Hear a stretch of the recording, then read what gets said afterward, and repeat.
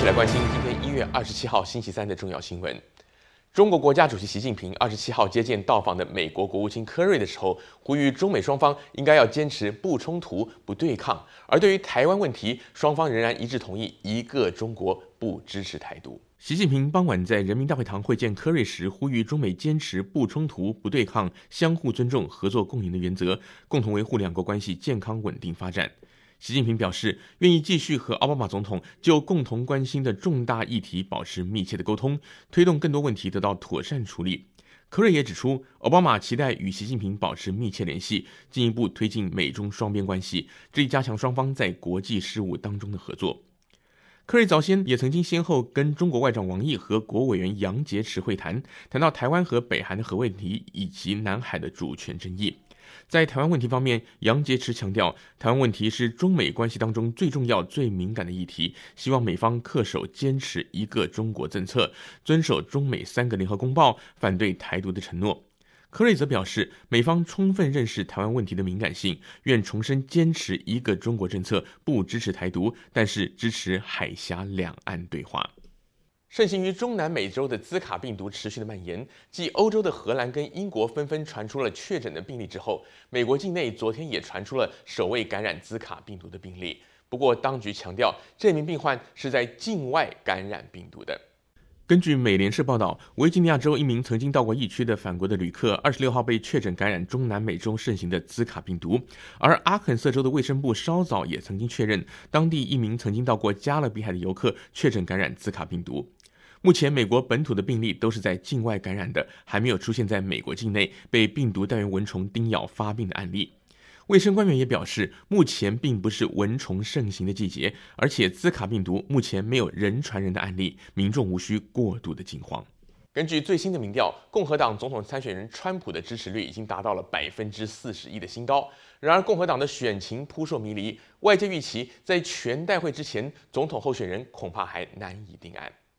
根据有线电视新闻网 CNN 和民意研究公司 ORC 公布的联合调查显示，川普得到百分之四十一共和党选民的支持，遥遥领先党内对手。超过三分之二的共和党人坚信，川普是可能夺得党内总统提名的参选人，更可能在大选中获胜。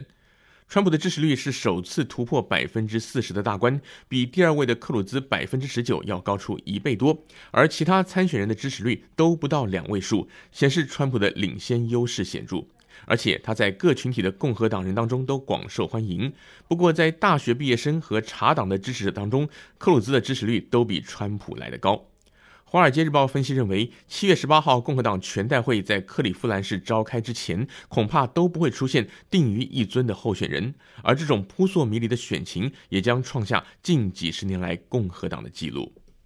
一项最新的报告显示，美国房地产市场持续快速的升温，目前房价几乎已经恢复到了二零零六年的高峰价位，而包括旧金山在内的四大都会区也都创下了新高。在就业成长强劲、房贷利率创下新低以及待售房屋短缺等因素相互助威之下，去年十一月美国房价快速的上涨。史坦普凯斯席勒二十城市房价指数比前一年上涨了百分之五点八，比去年十月上涨百分之五点五。全美各地房价几乎恢复到二零零六年七月房价高峰的价位，部分都会地区更已经从房价下滑的趋势当中完全的反弹。与此同时的德州达拉斯、科罗拉多州的丹佛、加州的旧金山跟奥勒冈州波特兰等四大都会区当中，有些地区甚至已经创下了历史新高。全国房地产商协会指出，去年成屋销售增加了百分之六点五，达到了五百二十六万户。但是房价上涨和可售房屋有限，最终可能会扼阻二零一六年房屋销售的成长。而在另一方面，房价上涨带来的挑战，部分可在最近房贷利率下滑的情况下获得弥补。联邦房贷公司房地美指出，上周三十年固定利率的房贷由一周前的平均百分之三点九二降到了百分之三点八一。此外，就业市场强劲和低油价也都有助于本月再度提高美国消费者的信心。二零一六年世界末日中的时间揭晓，由于核子跟气候暖化等问题持续威胁世界安全，二零一六年的世界末日中仍然是维持倒数三分钟的状态。世界末日钟是一种象征性的全球局势评估，代表人类文明受到核子威胁的程度。如果时钟走到午夜十二点，就代表世界末日的时刻来临。这次公布的二零一六年世界末日钟评估结果显示，目前全球的状况离世界末日只有三分钟。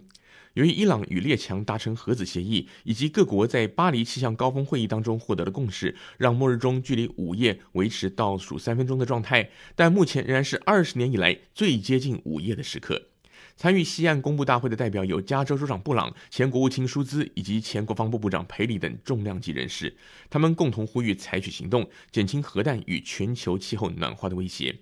与会代表指出，现阶段全球危机的严重程度与1983年冷战高峰期的情况类似。裴里强调，叙利亚内战残害人民，到目前为止，已经有一千万名叙利亚难民逃往欧洲。另外，美国与俄罗斯也重新发展核弹，俄罗斯还发表了攻击性的文宣，突发性的核弹危机随时可能发生。美国应该设法与俄罗斯尽速展开协商。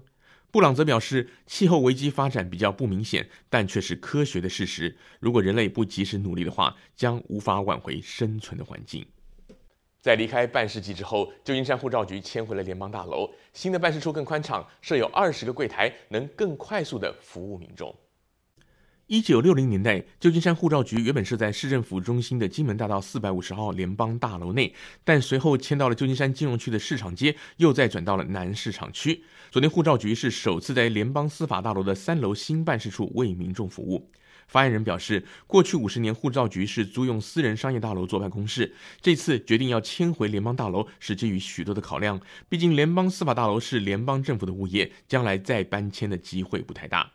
二零一五年，旧金山护照局总共为五万四千五百人提供了服务，发出二十四万六千八百本的护照。位于联邦大楼内的新办事处有二十个柜台，供民众等候的大堂面积也比旧的护照局大。民众在新办事处可以得到更快的服务。不过要注意的是，旧金山护照局现场只接受计划在十四天之内离开美国的紧急申请服务，仍然应该要透过原有的邮局收件服务来办理。